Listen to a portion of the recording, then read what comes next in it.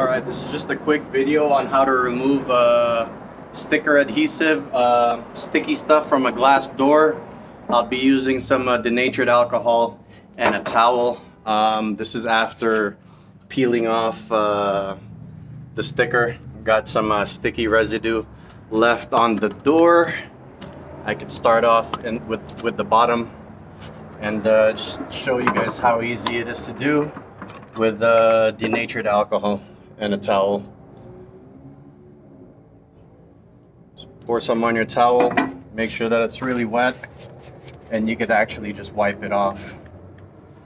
Everything just comes off nice and clean. This will be a very fast video. I'm not gonna bore you guys with the with the whole with the whole door. But as long as the towel is wet, wet, it'll come off very, very, very easy.